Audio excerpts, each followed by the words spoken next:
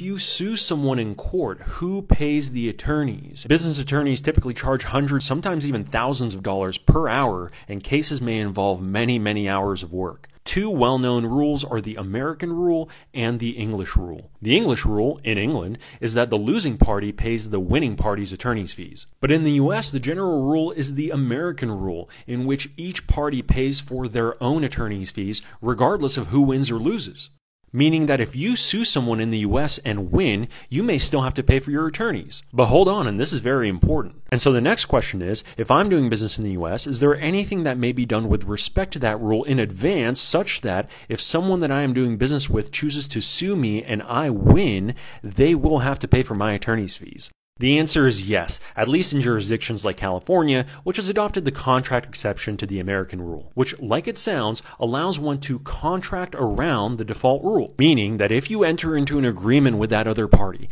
and included in that agreement is a well drafted attorney's fees provision, and they later sue you over that contract, and you prevail, they may be on the hook for your attorney's fees. Follow Daniel Arkof for more business tips.